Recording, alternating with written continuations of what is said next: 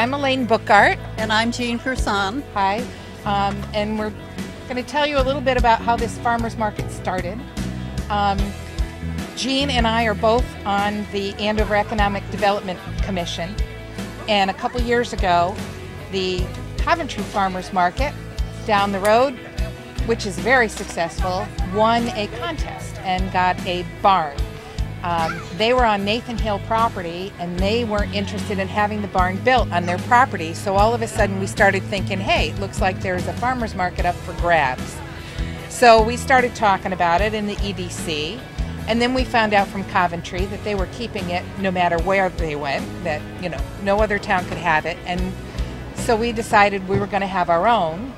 Um, we decided it would be great if it could be off of Route 6 because there's a whole bunch of traffic that goes back and forth on Route 6.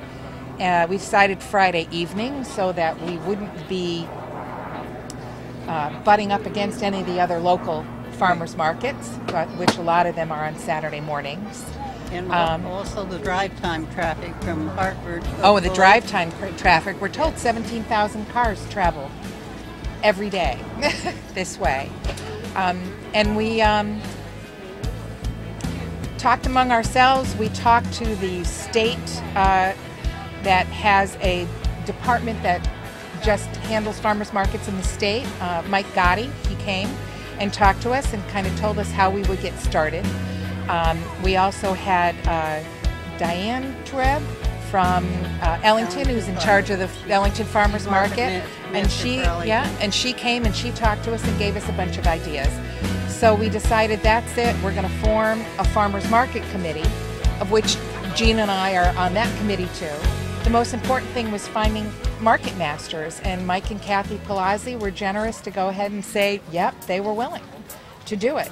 Um, and we tried to get things off the ground last year, but we, we started too late. And, you know, the farmers needed a little bit more time to get their um, schedule in order to be able to do a farmer's market. So um, a lot of them knew about us, and we said, okay, we're going to do it the next year. And this is it. This is the first day, July 11th, 2014, that we're doing our market. Um, going to run for 10 weeks. Yep. And we'll be here every Friday from 4 to 7. Yep, until until uh, September 12th. September 12th is our last one. So we'll and we're very proud of it because it, it took a lot of work, it took a lot of time, yep. and it's wonderful to see it come to fruition.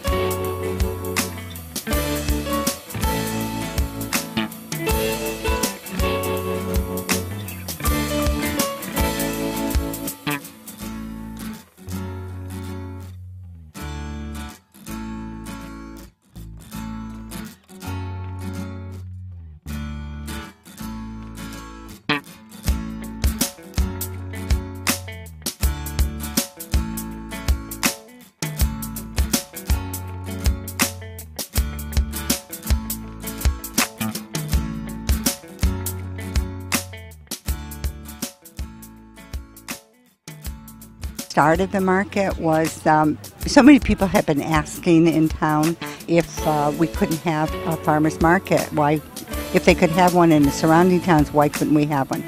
So um, the CIP, um, no, excuse me, excuse me, not CIP, it's the EDC. Yeah, EDC.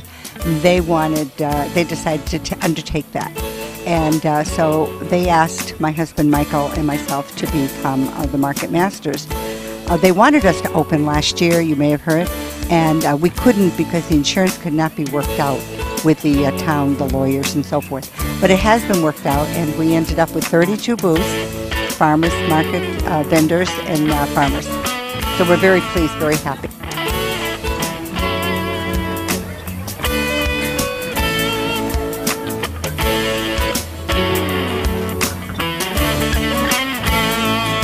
committee, the committee themselves put hundreds of hours in, literally, and tried to get it off the ground last year, but kind of ran into a couple of roadblocks. But we're real happy to see that it's now full running and operational, and congratulations to all who did the work.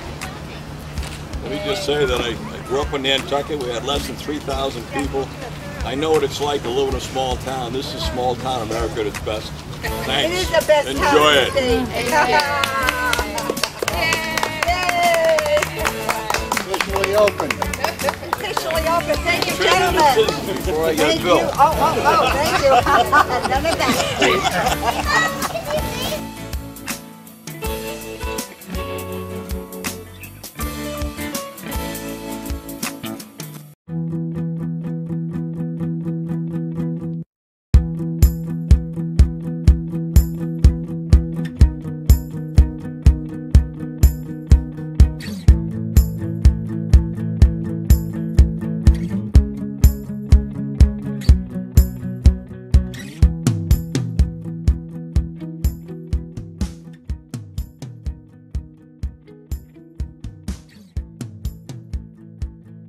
From Western View Farm. Um, my husband grew up on a hobby farm, and I grew up on my grandparents had um, a hobby farm. My grandmother had chickens and blueberries, and I have the exact same thing. Um, my dad, even when we lived in the city, grew a garden, and I knew and he knew we weren't going to stay in the city, so we moved out to Tolland, and I live out in West Stafford.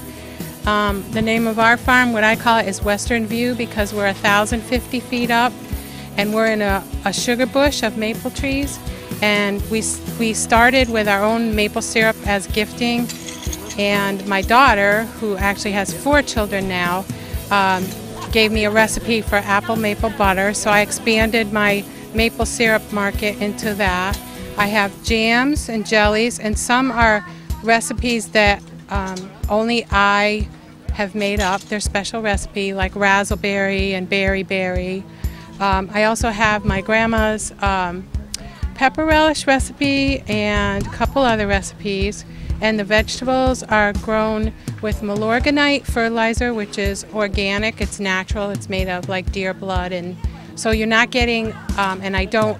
Uh, and none of the wash away goes to the maple trees, so everything's organic that grows in my yard. And we have a bigger farm in Tolland, and that's when the corn will come in, but it's just above knee high right now, so we don't have the corn but I have hobby chickens and I can and preserve all this and more. There's a lot that you can't sell because the state of Connecticut you have to have a, a commercial license. This is allowed because it's a water bath process and the vegetables don't have bug spray or anything like that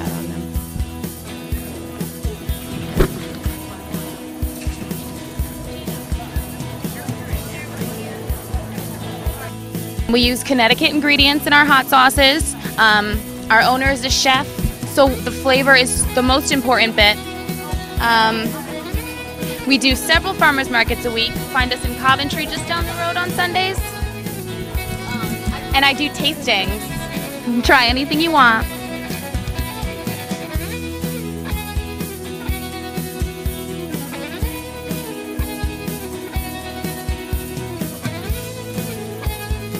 Hi, I'm Michelle Bad Stubner, and I am Tahir, all natural. Tahir means pure. I make homemade soap um, with all natural ingredients. We've got olive oil, coconut oil, palm oil, sweet almond oil, avocado oil, mango butter. I've been making soap for years. Um, this is my first farmer's market, so come on out to Andover and join us. Hi, I'm from uh, CJ Pogmore from Bluebird Hill Farm. Um, we grow apples, peaches, uh, plums, all the veggies you can think of, sweet corn. We're here at the Andover's Farmer, Andover Farmers Market today, and um, we'll be here all season. And you can check us out on Route 87 in Lebanon, Connecticut.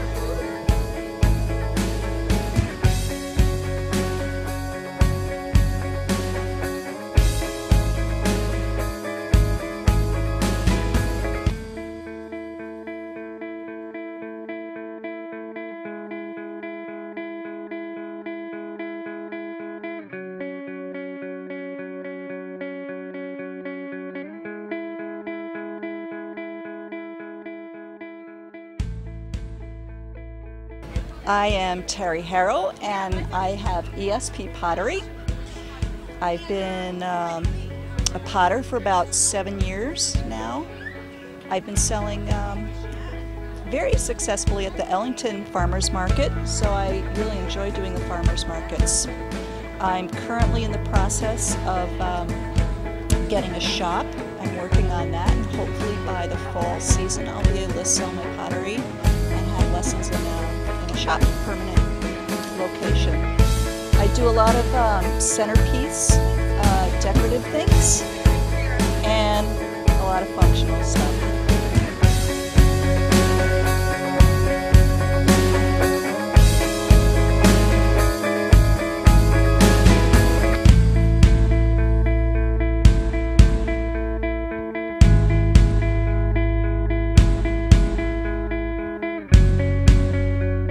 I'm Claudia from Claudia's Crafts. I'm here at the Andover Farmers Market. Uh, today it's my first farmers market, and I am displaying and selling um, outdoor tic-tac-toe boards. Can be left out in all weather. And I am selling magnetic um, bottle openers and wall mounting bottle openers with cap catches.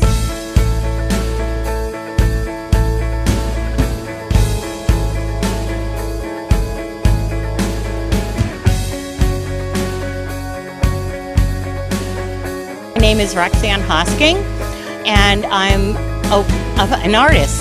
And these are some of my artwork that I do with the wool from my own sheep. Um, I don't shear my sheep anymore by myself. I have friends that do that. Um, and this is one of the fleeces over to my left from Monday, from this past Monday. I live right here in Andover on Wales Road. I have been doing this for about 12 years and I also give lessons at my home. I needle felt, which is what all this work is. I also spin and weave. Um, my spinning, actually, right over here, is my my yarn that I have spun. It's um, sort of like a herringbone type thing. Um, two different colors, two different fibers. The white color is alpaca, and the dark brown is from one of my older sheep who has gone bye bye. Um, I, again, I've been doing this for 12, over 12 years. Um, I started when I found out that I was ill and couldn't drive anymore and couldn't teach anymore. And what do you do with your time? Well, about two weeks later, I'm sitting in church, kind of, and a friend of mine who actually is wandering the the place here um, taught me how to knit in church, so I wouldn't fall asleep. And then about a couple of weeks later, my niece called me up. Yeah, Roxanne, I have to get rid of my sheep. So I got two sheep from her, and then not too about three, four weeks later, a friend of mine, actually, she's at that booth over there, I called, not knowing it was her, I called to talk to the person in Tolland County who is in charge of um, um, the sheep association that's here in Connecticut, and she's the Tolland County rep. And I'm talking to her, and she, I said, "Are you Regina?" She goes, "Yeah." I said, uh, "I'm Roxanne." We used to go to high school together. Oh my God. So that was like really weird. And she started to teach me how to work with wool. And I eventually, strangely enough, a friend of mine from town was moving and she gave me her daughter's spinning wheel, which turned out to be a magnificent wheel. So going to the Yankee Fiber Guild out of Plainfield and learning by watching, I taught myself how to spin wool and went from there. And now I spin, weave, needle felt, do all my own dyeing, do the all the processing myself. So that's it.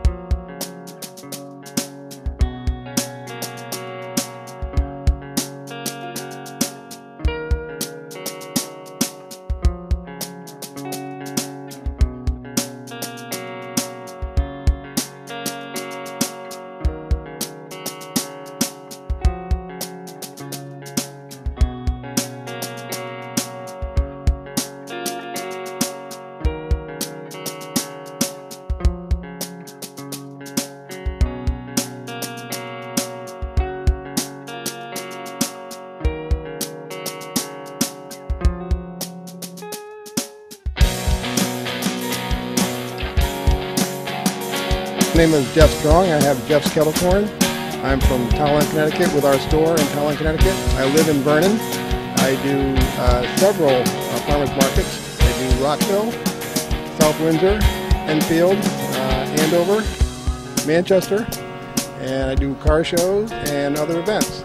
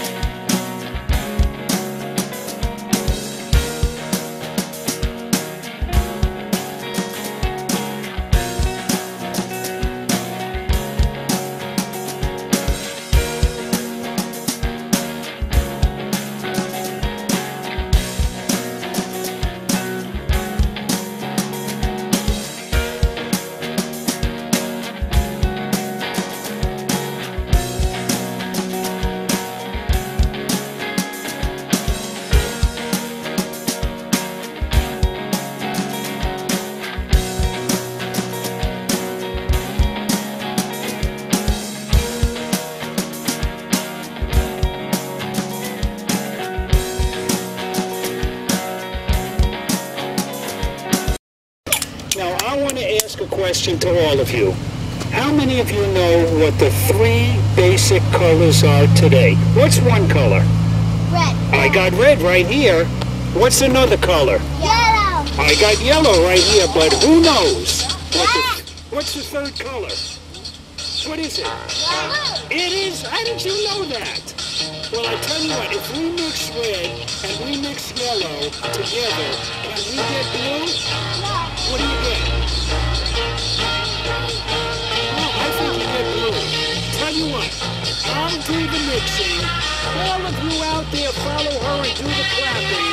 See if we can get blue. Are you ready? We got red. We got yellow. Let's see if I mix them up if we can get blue. Are you ready? Here we go. You know what blue looks like? Is that it right here? Uh, what did you think you'd get if you mix red and yellow? What do you get when you mix red and yellow? You want orange?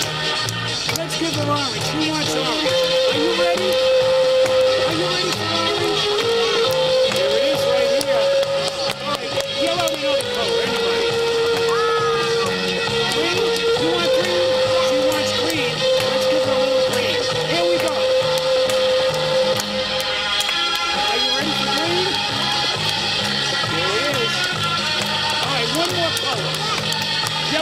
To color. Purple. Who said you want purple? There's only one way you can get purple. That's if the whole audience here yells purple. Purple. One more time. Purple. You said it. You got it. You can get any color you want just by mixing the red and the yellow. Now, I need one rope, and how many do we have here? Well, how do you get one if you have three? How do you do that? Time together. You could tie them together. Not today. Today, it's the Harry Potter Hogwarts School of Magic magic book. This book is over 400 years old. Here's what it says right in the book. Holy cow, a 400-year-old moth right there. Well, in the book, it says if you take the ends of all three of these ropes and you make them nice and even, would you say that the ends are nice and even now? Yeah. Yes. Well, if you get the ends nice and even, you can end up with three even ones. By golly, one is right here, two here, and three here. But hold your applause. I know everybody was about to start clapping because they want to win that bunny rabbit, but we didn't want three and we didn't want two. How many did we want? One. Well, here's how you get one. You take this end, put it together with that end, and you apply a little heat. Like that. And watch this. It's one. Wow. Hold your applause. I know everybody was about to clap, but what about the one rope I put down over here? We want, we want one, and we have two. So here's what we do. Steve, are you paying attention, Steve? Watch this. This might be one of the best parts of the show. Here, back up, fellas, so everybody could see. We have the two, Steve. We want one. We apply a little heat. You're not going to believe your eyes. Like that. Watch this. Bingo, it's one. Look, hold on. Oh, folks, hold your applause. Steve, you didn't applaud. And I think, hold on. Steve, I think I know why. Be honest with everybody here. You think this is still two pieces of rope. Be honest. Right, yes. What can I do to convince you that it's one? Let go of my hand? Would that do it? Yes. All right, boys and girls, count up to three. Steve wants me to let go of my hand. Here we go. One. There it is, Steve, right there. Uh, What happened? the wrong hand. This hand? Steve, it's early in the show. You want me to let go of this? I don't know what difference it makes. It's really one